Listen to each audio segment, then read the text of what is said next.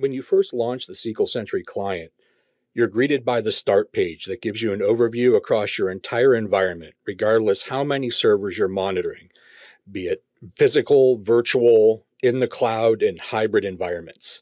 Out of the box, SQL Sentry provides roughly 200 different conditions that we can watch for, for common issues such as long running queries, blocks, deadlocks, high CPU utilization, low storage space, in addition to more complicated conditions that use and or logic to correlate multiple metrics along with even uh, query results.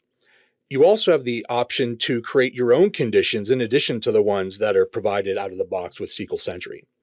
Regardless, the start page will always show you the most recent conditions that were detected, so you always know if there's anything that requires your immediate attention. Alternately, if you already know of an issue you want to investigate, you can find the server you're interested in in the navigator pane and jump right into it by selecting Open the Performance Analysis dashboard. When I first launch the performance analysis dashboard for a server, I get essentially a real time view of all my most pertinent performance metrics. Uh, this by default will show me a rolling last 30 minutes, and most of these metrics are with 10 second granularity. So, as close as you can really get to real time visibility without putting any undue overhead on your monitored servers. Now, there's a lot of metrics here, but uh, there's a pretty logical layout to the dashboard.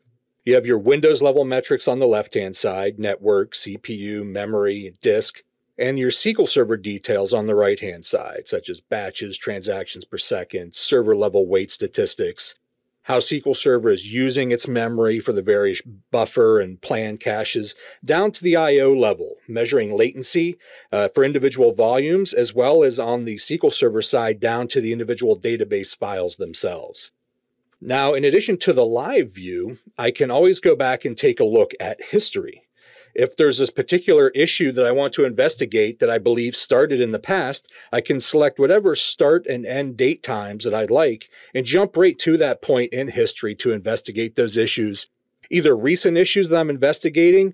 I also have the option to do long term trending. I can bring up the last month or, or even year or more if I've been monitoring the server for that long to observe long term trends and view baselines of, of my server's performance uh, just as easily as jumping to a specific recent time frame to look for the root cause of a specific issue.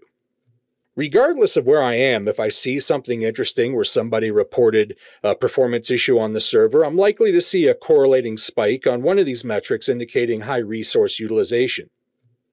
For example, down here, I have some heavy write latency that I, I notice on this particular server um, for a few minutes ago drag and drop allows me to highlight that time frame on the dashboard here. And uh, you'll notice that same time frame is correlated across every chart here. So i can easily see the relationship between all my metrics to get a complete view of this workload profile in a single pane of glass. Uh, the most often next step here for basic troubleshooting methodology is to use the jump to menu where I can jump into alternate views, staying focused on the time frame that I just selected here. The most common being top SQL, where I want to just take a look and see, well, what were the, the highest impact queries that were actually running against my server at that time that I've selected. From there, I can drill down and, and perform uh, query tuning and analysis and other options that we'll investigate in other videos.